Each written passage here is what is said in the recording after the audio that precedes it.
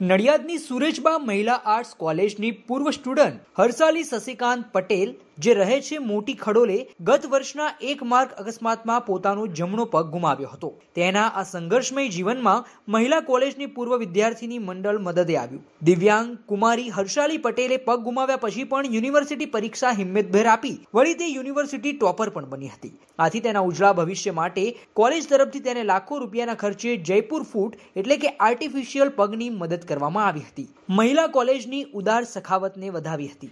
આ પ્રસંગે ઉપસ્થિત મ્યુનિસિપલ કાઉન્સિલર રાકેશભાઈ ઝાલાએ પણ હરસાલીની હિંમતને બિરદાવીને તેને તત્કાલ મોટી રકમની સહાય જાહેર કરી હતી.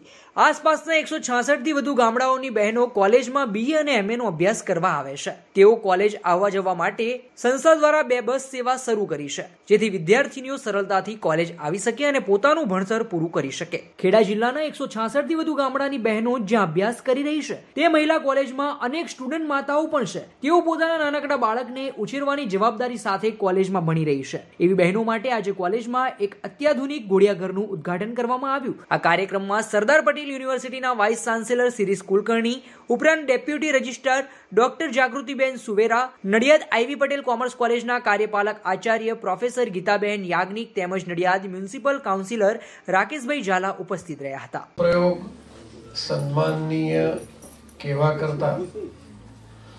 પૂજનીય કુલીનચંદ્ર યાજ્ઞિક સાહેબને સંબોધન કરું છું. અહીંયા ઉપસ્થિત મંચસ્થ મહાનુભાવ,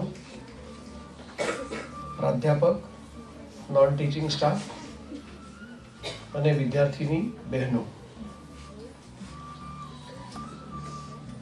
ખરેખર મારા માટે તો આ એક અસ્મરણીય અદ્ભુત પ્રસંગ ભજવાયો છે એવું મને લાગે છે. અને ક્યારે યાદમાંથી નીકળી જાય એવો આ પ્રસંગ નથી. હંમેશા યાદ રહેશે કાયમ માટે બધી રીતે. ચાર પ્રકાર તમે કીધા હોય, પણ એ ચાર કરતા મને અનેક વધારે પ્રકારનો આ પ્રસંગ લાગે છે.